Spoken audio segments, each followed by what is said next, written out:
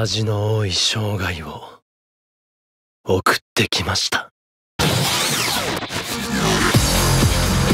志を必要としない社会が世界に先駆けて実現してから半世紀俺たちの体は埋め込まれたナノマシンでコントロールされてんだぜ。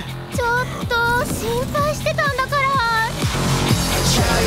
あなたは一度死んで蘇りました。あの子なりに居場所を探してるのよ取り戻せ本当の姿を。ロストします。なんで人間がこんな風になるんだ。俺は国民の全てをロスト化させ新しい人類を生み出す。とうとう見つけた我々は現在の文明を守らねばならん。あなたが必要なんです洋蔵さん。俺と来い。人間を一からやり直させる。やめろ関係ないこの世の終わりだ。進むしかないんです。